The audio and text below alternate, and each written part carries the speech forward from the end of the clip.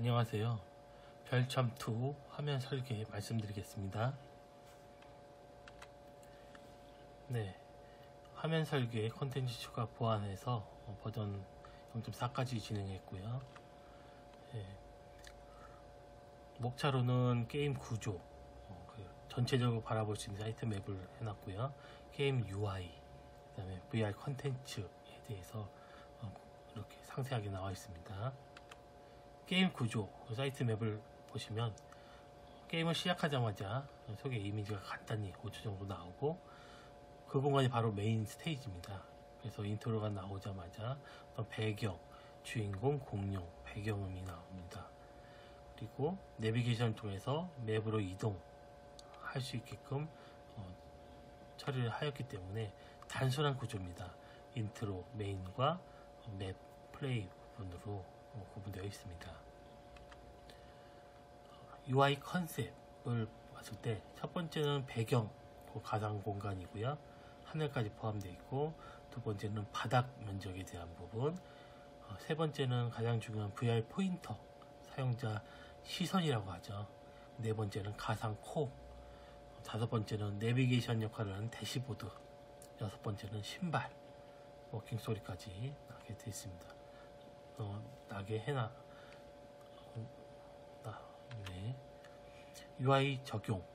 그래서 어, 배경은 이렇게 하늘과 이 terrain 동안 그 어떤 가상 공간 만들어 놨고요. 두 번째 바, 바닥, 세 번째는 VR 포인터, 십자선 이렇게 동그라미로 이렇게 표시를 했습니다.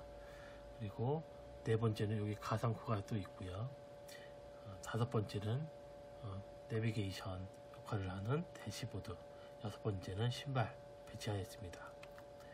front view 어, 앞으로 전방을 봤을 때 어, 해상도를 1280에 720 해상도로 저는 이렇게 잡아놨는데 landscape left로 해서 가로 왼쪽 보기로 정렬을 하였습니다.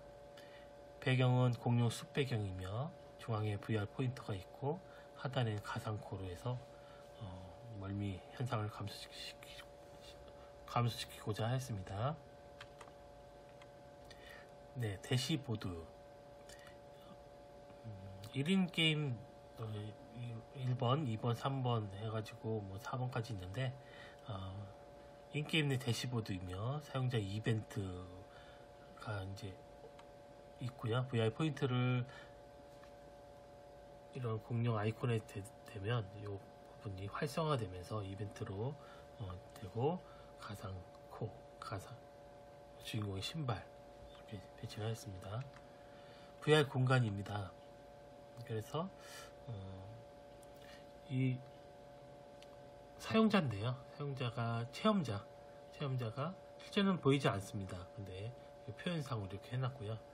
고개를 60도로 밑으로 까딱 하면은 움직이고 한 번 더 까딱 하면은 멈추는 형태로 했습니다.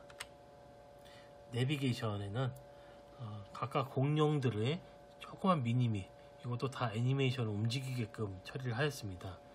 그래서 알로사우루스부터 브론토사우루스까지 16종과 홈 버튼, 종료 버튼까지 배치하였습니다.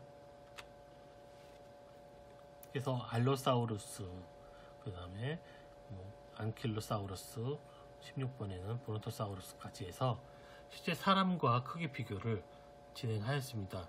사람 160cm 기준으로 해서 10m 있을 때 6.25배, 5m 이때 3.125배, 육식과 초식해서 물고기 먹느냐 해서 식성에 대한 부분에서 구분을 하였습니다. 그래서 알로사우루스에 대한 형태고요. 안킬로사우루스에 대한 모양입니다.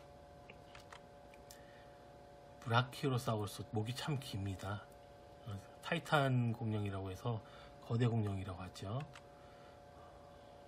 네. 공룡이 있고요. 네. 여기도 디메트로돈, 오비랩토르, 파라사우롤로푸스, 네, 여기 이상한 혹이 있는데 이것도 참 귀엽습니다. 네, 익룡이죠. 네, raptor. 예, 유명하죠, raptor.